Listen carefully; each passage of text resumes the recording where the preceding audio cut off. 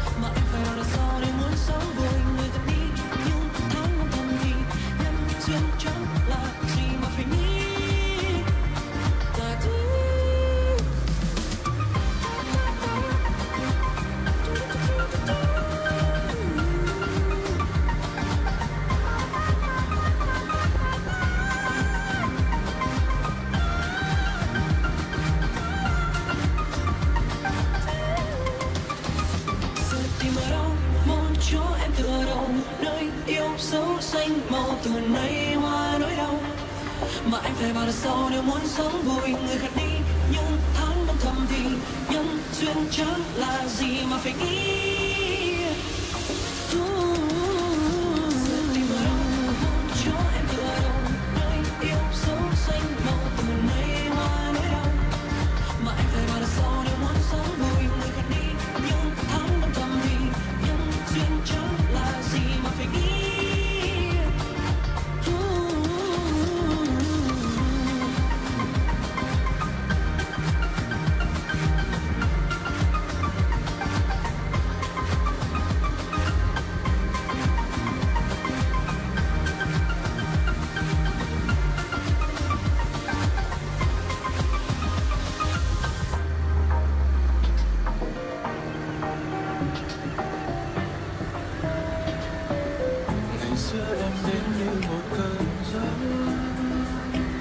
rồi trao tình yêu với ngàn lời rằng ngày mai đôi ta gần nhau mãi sẽ không rời. Trong anh giờ vui đây rồi những năm tháng em đêm nay vượt qua thật nhanh không kịp tay vẫn giờ chỉ còn những thương trong những giấc mơ xa và trong anh giờ đây chẳng còn nữa không biết mai ngày đây.